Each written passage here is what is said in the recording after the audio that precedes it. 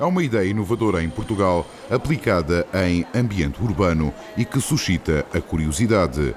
Aspersores afixados na parede que criam uma nuvem de gotículas de água, aumenta a umidade, baixa a temperatura. Através de umas sondas que estão instaladas na rua, essas sondas fazem a, a leitura da temperatura e se a temperatura for superior aos 30 graus e a umidade inferior a 50, o sistema arranca automaticamente.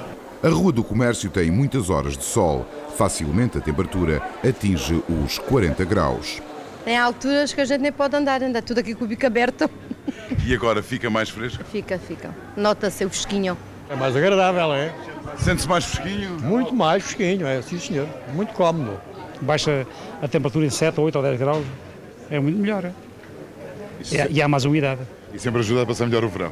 Com certeza. Ah, é fresquinho, é, fresquinho, é. É bom, é bom, é bom. Principalmente nestes dias que não há vento, caem diretamente sobre as pessoas, refrescando-as. Sabe bem. Sabe bem, maravilha. É que quando se entra ao fundo da rua, ou quando se entra ao cimo da rua, nota-se logo uma fresquidão enorme. É agradável. Mais que agradável, já devia ter sido feito há mais tempo.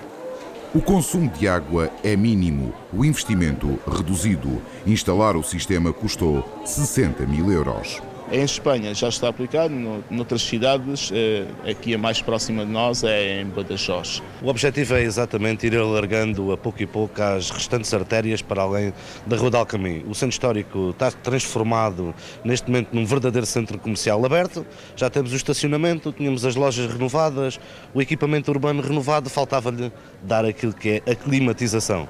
Outras autarquias portuguesas já mostraram interesse em adquirir o sistema.